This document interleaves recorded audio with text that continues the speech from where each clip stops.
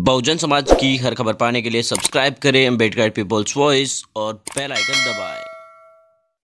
Hello friends, मैं उर्तराम रोलियर आप देखना शुरू कर चुके हैं बेडकार पीपल्स वॉइस आप सभी को पता है कि राजनीति में कुछ भी बेमतलब नहीं होता। राजनीति में हर चीज़ का मतलब निकाला जाता है। कहीं आने का, कहीं जाने का, तमाम घटनाक्रम जो होते हैं, उनका एक न कोई ना कोई मतलब होता है। बिना मतलब कोई, न तो किसी के पास आता और न ही किसी के पास जाता है।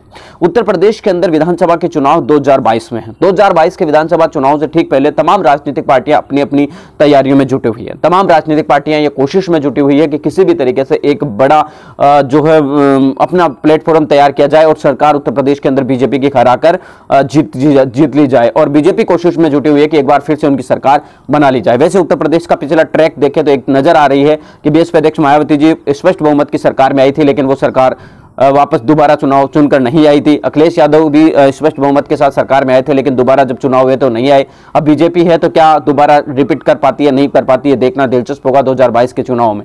लेकिन एक बड़ी अपडेट सामने आ रही है। भीम आर्मी के प्रमुख और आज़ाद समाजवादी पार्टी के राष्ट्रीय अध्यक्ष जो चंद्रशेखर आज़ाद है, वो आपको बता दें कि पिछले दिनों उत्तराखंड के दौरे पर है। अचानक उन्होंने लखनऊ दौरा किया। लखनऊ के अंदर उन्होंने कई सारे नेताओं से मुलाकात की। चंद्रशेखर आज़ाद ने यह गुप्त मीटिंग की। हालाँकि सार्वजनिक इसका किसी भी प्रकार का कोई लाइव प्रसारण या वीडियो नहीं सामने आया, लेकिन जानकारी मिली है कि चंद्रशेखर आज़ाद ने अपने कार्यकर्ता और नेता और कई सारे वरिष्ठ नेता जो कि अलग अलग पार्टियों से नाराज़ है, उनसे मुलाकात की है। आपको बताने की कोशिश करें तो पिछले दिनों खबर आई थी, समाजवादी पार्टी और चंद्रशेखर आज़ाद के बीच गठबंधन भी हो सकता है। कुछ लोगों का कहना है कि सुबुद्दीन ओवैसी की पार्टी और इनके बीच गठबंधन हो सकता है, लेकिन देखना दिलचस्प होगा कि चंद्रशेखर आज़ाद की पार्टी का किसके साथ गठबंधन होता है। चंद्रशेखर आज़ाद लखनऊ पहुँचे हैं तो इस लखनऊ पहुँची राजनीति के क्या महत्व है? क्या चंद्रशेखर से किसी नेता के, बड़े नेता से मुलाकात हुई है। क्या किसी पार्टी के साथ गठबंधन को लेकर चर्चा चल रही है? ये तमाम चीज़ें देखना बहुत दिलचस्प है वो बहुजन समाज पार्टी क्या करेगी वो आने वाले दिनों के अंदर उनके भी पत्ते देखना दिलचस्प होगा। मिलेंगे वीडियो अपडेटों के साथ। अब तक आपसे